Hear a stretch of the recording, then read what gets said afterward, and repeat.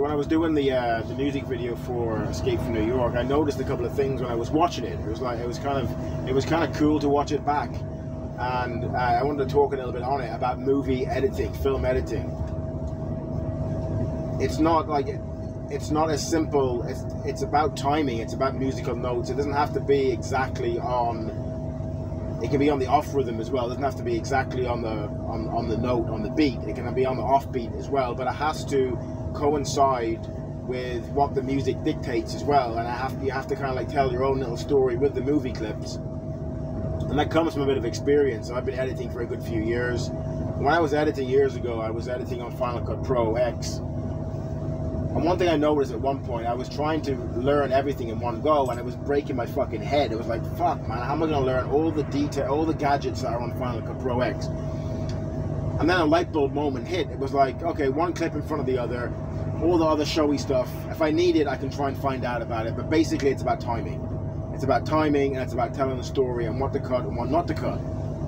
Sometimes, but it, over time, it, it, you you be able to do it like muscle memory, and and it's kind of like when you see something, it's kind of like what, what and it'll tell you what is working and what's not working, right? So kind of like there was a couple of clips in there that I that I couldn't use in there because it wasn't working. I had to I had to chop them down, I had to make them work inside that clip and then it would change with the music when the music goes up when it goes down and towards the end it's a bit it's a bit more kind of like uh, sympathetic so you use a bit more sympathetic scenes and when the when the main chorus part comes in then you're trying to use the actioner parts and and make sure that I wasn't overshadowing the, the original music video as well if you, if you do if you show too much you will overshadow that and then it'll be too clunky and then obviously when you cut over the original video you have to when it comes back into the original video, you don't want to be cutting because there's, there's there was original cuts on the um, original video. So when you cut back into it, you don't want the cut to last one or two frames, and then it would too, be too.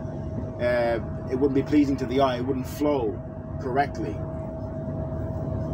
So editing is simple, but it but it's muscle memory, and it's kind of and you have to care as well.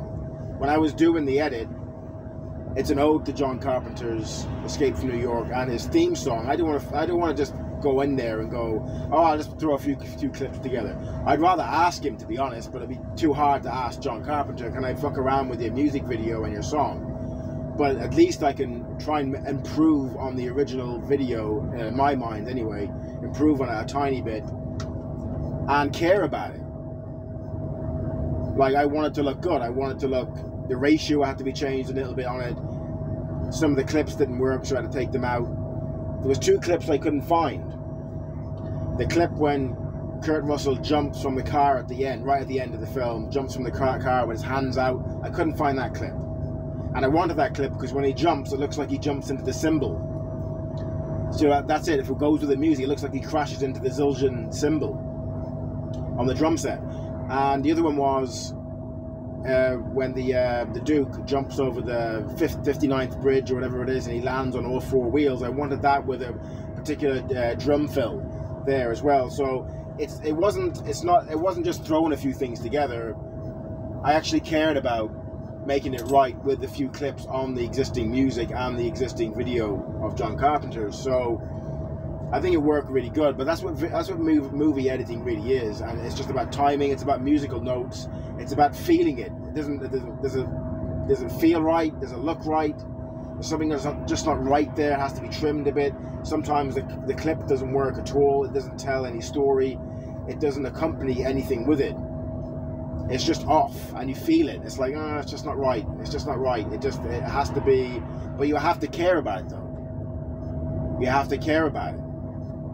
And if you don't care about it, you're just like, ah, it doesn't matter, just put it in. You know, so so I was looking back on it and I thought I'd do a small little video on video and movie editing because it's muscle memory like martial arts or drive or traveling driving or whatever you want to call it. It's muscle memory and you have to do it enough that you it becomes like second nature and then you know when something's off. You know when it's off a tiny bit. You know, so yeah, so I, some of it works really, really good. It works good with it, and anyone can edit. It's one clip in front of the other. But to edit good, you have to know when to take things out and when things are not working. And like I said, have a feel for it. It's a rhythm, it's a movement with it. Just say the part when the Duke drives in in the music video clip. If you look back at it, it the music changes and it goes more into a bass kind of theme and kind of like uh, crescendos down. Okay, it doesn't crescendo up, it crescendos down, and then it goes with the Duke arriving. Right, so that really worked well with the music video. If you look back at it, and uh, and like the other thing was, like I said, is not to overshadow the music video, to accompany it and make it better. I yield.